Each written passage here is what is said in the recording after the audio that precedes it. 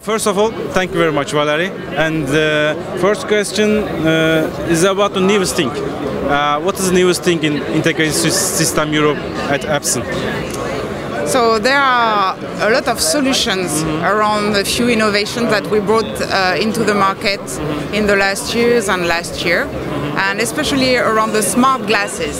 We have developed AR smart glasses for a few years now, but now we have solutions available for glasses uh, to be actually used every day. And it's interesting because there are commercial solutions, and at ISE we are really featuring things around visitors' experience. So it can be uh, some sightseeing or museum visit content through partners, or it can be as well some augmented reality, actual demonstration to show what you can start doing to enhance the visitor's experience. And most importantly, we have the National Theatre yeah. from London, uh, and they came all the way to ISE to demonstrate their unique subtitling solution which is very innovative and now being used since October every day to provide the low hearing people a very nice enhanced solution to go to the theater again. And uh, could you give me a little bit about uh, uh, LightScene product? So LightScene is an interesting product concept yeah. because it's very different from uh, the product we might have developed in terms of projections in the past. Mm-hmm. And the most important is we created a product that has a form factor mm-hmm. which is dramatically different. So it looks like a spotlight.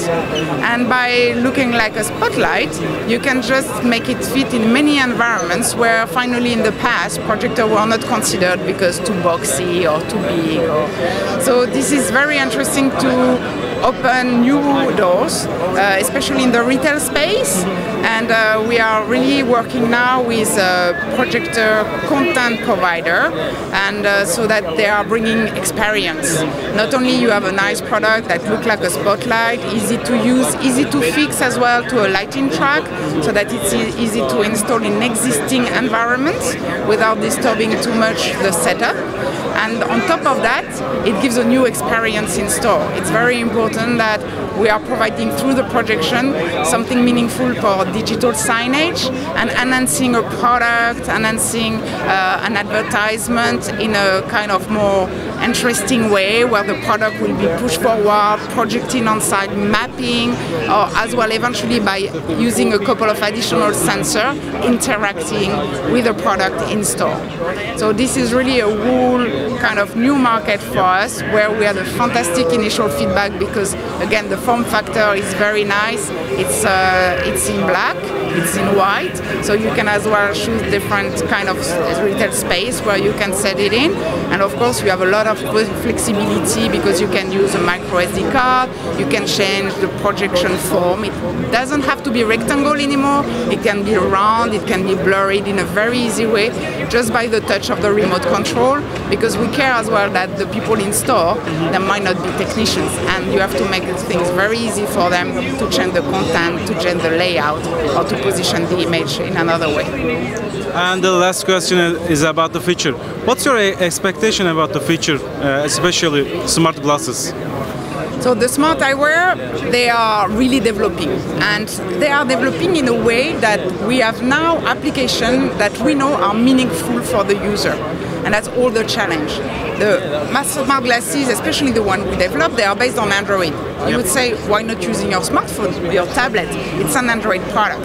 So the important thing about the glasses is that it gives your hands totally free. Mm-hmm. So you can wear the glasses, use a camera, investigate the world around you, and then do a lot of different things naturally that can be triggered without the intervention of the mm-hmm. person.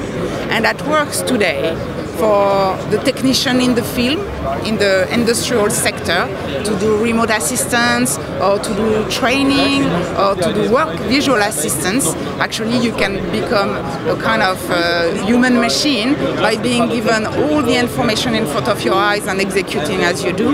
And there is a whole world as well, as I mentioned in the visitor experience. We have 12 projects running now in Italy where you can rent our glasses at Pisa Tower, at Monza, in Brescia Museum, in Villa Reale And uh, this company Art Glass is really bringing the museum industry in Italy live with the smart glasses. And eventually, as well, we have a big drone market. And it's interesting because with the drone, it's exactly like understanding why you would use a smart glass. Thanks to the drone uh, and the use of the smart glass with the drone, you can see the drone and the video feed from the onboard camera at the same time. And you never lose sight of your drone. And there is only smart glasses and see-through smart glasses that can actually do that. So when you question why using smart glasses, it's just that there are now unique usages being actually uh, used and put in place that make a real difference compared to any other device. And that's exactly the direction we're aiming at. Thank you very much. You're welcome. Thank you. First of all, thank you very much, uh, Jonathan. And uh, now uh, you are uh, uh, using Moverio in the National Theatre. Why Moverio? Uh, well, we chose Moverio um, having gone through a number of other products, looked at a number of other augmented reality products, and it was just the one that fitted the criteria that we'd really established. It was light, and it was really, really bright and clear for our audiences who need a really, really clear version of the subtitles so we can display it live in the in the theatre. Um, and it's got a good battery life as well. It's got a really, really good battery life, which is perfect for um, our shows that normally come in about three, three and a half hours. So, and the battery life on the Moverios runs to about four, four and a half hours. So it's been ideal.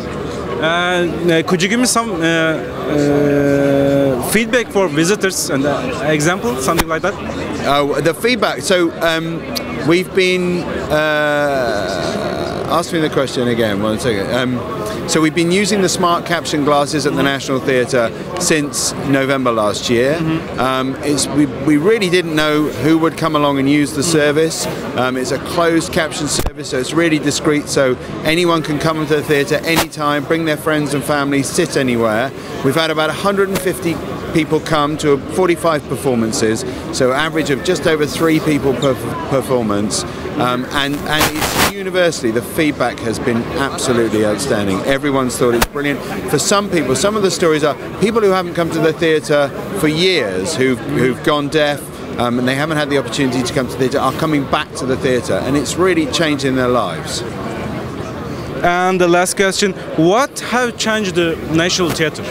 Uh, well, what, what's changed is the National Theatre is, is offering more accessibility to a much broader group of uh, people who are deaf and hard of hearing.